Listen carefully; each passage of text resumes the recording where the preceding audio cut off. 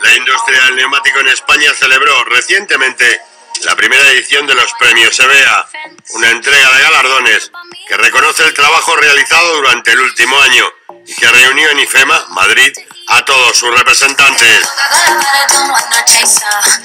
Los galardones se establecieron en 12 categorías, cuyos ganadores salieron de los votos emitidos por casi 8.000 profesionales del sector en nuestro país.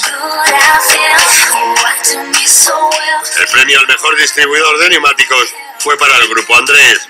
La mejor campaña recayó en el fabricante Hankook y su asociación con el Real Madrid.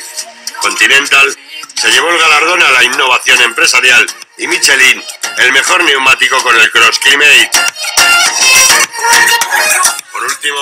El premio de honor fue para la Dirección General de Tráfico, cuyo reconocimiento recogió su máximo responsable, Pere Navarro.